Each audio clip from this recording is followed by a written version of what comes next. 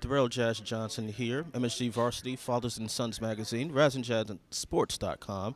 I'm here with uh, Tim Hardaway Sr. Have to add the senior in there now. Yes, you have to. Uh, father of New York Knicks uh, rookie, Tim Hardaway Jr. Tim, how are you doing today? I'm great. I'm great. You know, Happy New Year to everybody. So, so take us back a year ago. Your your son is uh, playing for Michigan, uh, or or ten months ago. Uh, what was it like going through that run to to the championship game for you as a as a parent watching your son uh, perform? A lot of fun. A lot of fun. First of all, um, just watching your son grow out there as a basketball player. You know, not not a person. We we, we know what type of person he is. Um, he's a great person um, off the court, but on the court, just you know, just seeing how he grew uh, as a leader. You know, um, uh, understanding how to play the game, understanding how to, um, you know, just just just take his team to another level, and um, that's what I saw, and that's what I loved about his game and his um, progression of the game. As a as a father, at what point did you think, wow, my, my son really has some potential of playing at a big time college or even in the pros? At what age did you see that in, in your son? after his first year in college. Um, his freshman year in college, you know, I, I say he, he has a chance to make it to the NBA and um, follow his dream, and um, you know, um, just just have fun for the rest of his life.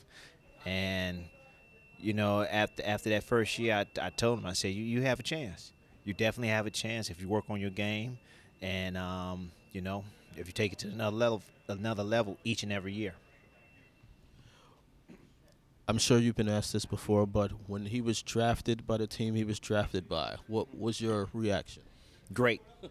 It was um I was just um so full of joy and happy for him because um you know it, it doesn't matter what team you go to. Um, to me, it matters just to get in and get just get your feet um, past the doors of an NBA team and go out there and um, show them that you can play. That's all. That's all it was about. It didn't matter who it was. I just want him to just go out there and just do his thing and show people that he can play this game of basketball. Final question: When you walk into this arena, you you played so many games here. What what thoughts come to your mind uh, of of your experience here at Madison Square Garden?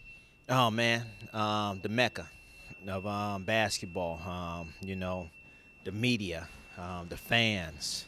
Um, you know, being on um, national TV.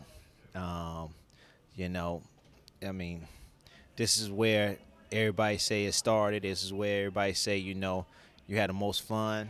You know, against the New York Knicks. Um, you know.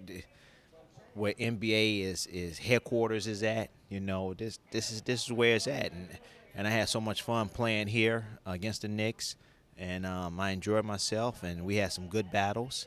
Um, some of them didn't go the Miami Heat's way, but um, you know there was some great battles, and it was for the fans, and and um, you know I, I wouldn't change nothing about it. It was I had a lot of fun here, and I love the fans here because they'll tell you what it's about, and that's what fans are about.